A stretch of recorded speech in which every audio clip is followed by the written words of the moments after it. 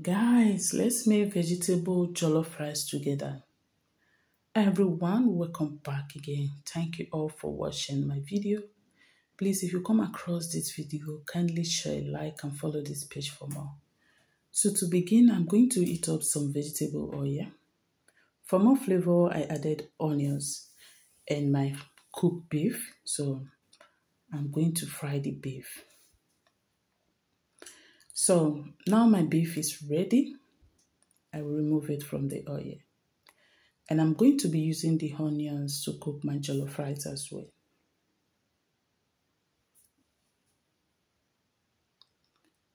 So now I'm going to fry my sliced onions. Yes. So I will add the onions and stir fry it for about two minutes. After that, I will go in with my tomatoes paste and I will fry till it is completely ready. So I fry it to remove the sour taste from it and other. Then I go in with my Onga seasoning, salt, paprika, turmeric, curry, and thyme. Use any of your favorite seasoning for your jollof rice.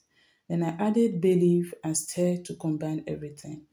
Now I added my blended pepper mix, tomatoes, bell pepper, onions, scotch bonnet pepper, garlic, and ginger. So I did not boil the tomatoes at this time. So after that, I added my seasoning cubes, which I smashed already, stir to combine everything together, and I'll cover it to cook.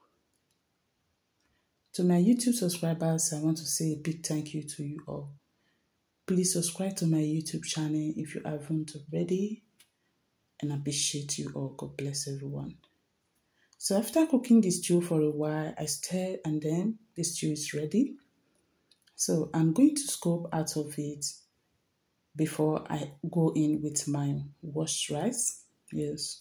So I normally wash my jollof rice with salt and hot water. So after adding the rice, I will stir to combine everything together.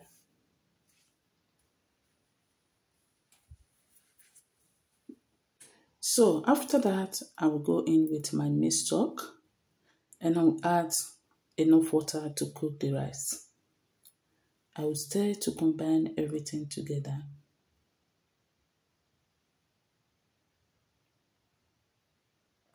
So guys, I'm going to be adding the left over tomatoes or stew I removed before.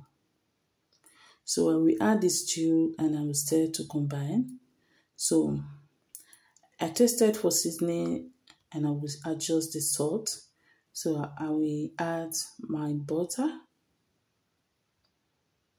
stir and I will cover it to cook.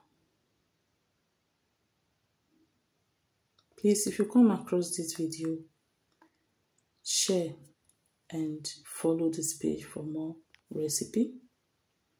So now I will cook my jollof rice till it is ready.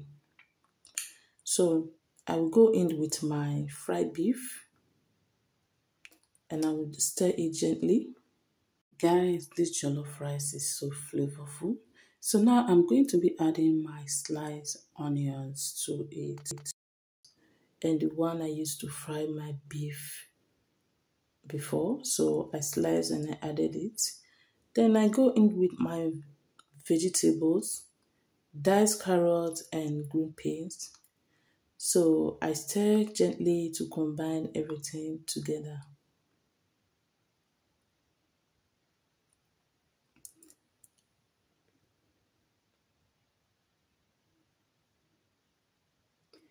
So guys, I'm going to be adding my tiny sliced cabbage to it as well. Yes, so I will add it and stir to combine. And after that, I will cover it to cook for about two to three minutes. Yes.